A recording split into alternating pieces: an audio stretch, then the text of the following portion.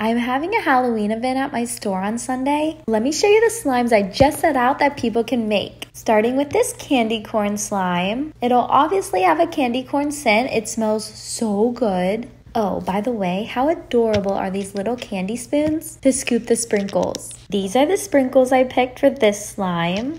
And then I have two different variations of candy corn charms to finish it off.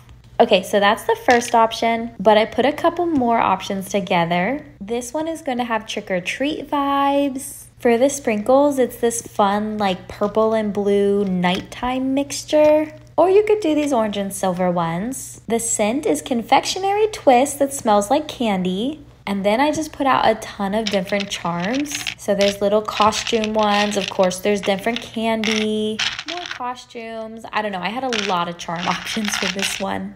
The next slime idea I put together was Witch's Brew.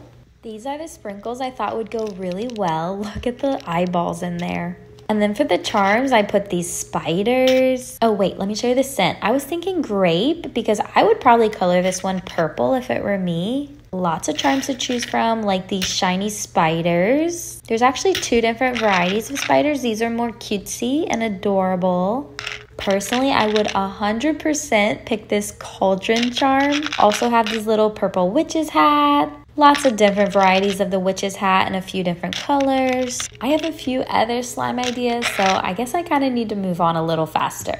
This one I'm calling Marshmallow Mummy, scented like toasted marshmallows. It's kind of hard to see the charms from these bags, but there's a bunch of different mummies in there.